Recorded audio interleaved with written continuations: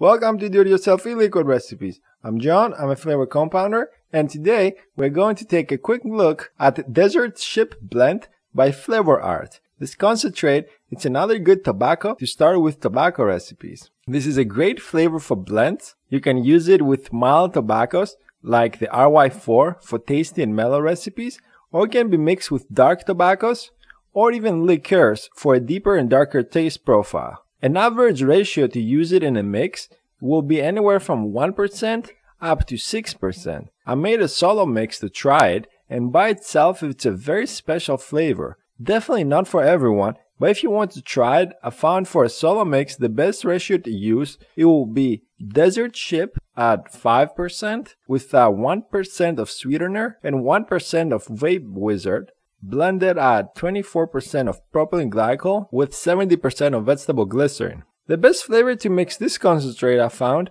are other tobaccos, rum flavors, chocolate flavors, some spices like anise or cinnamon, and some fruits go well with it also like banana and pear that I have tried. You can also combine it with nut flavors to get a close taste to the 555 e-juice or cigarettes.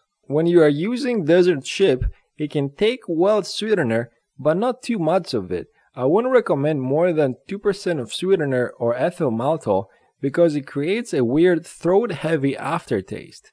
So about 1% it would be a perfect ratio. Now as for the stepping time, this is very similar to many other tobacco flavors and it will require a longer stepping, usually around 2 weeks.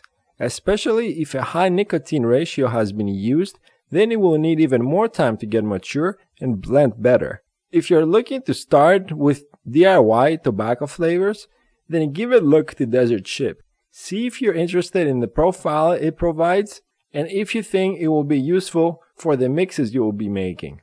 It is a good introduction for tobacco flavors and also can be used very well at lower ratios to help other tobaccos stand out better. There is also another flavor called Desert Ship made by a different company called Flavor Express.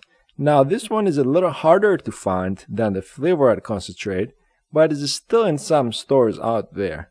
The Flavor Express Desert Ship is a little different since they were trying to replicate an exact tobacco brand and taste, but it's still very good from what I remember the last time I tried. It was a little less spicy and it was much more floral than the version of Flavor Art.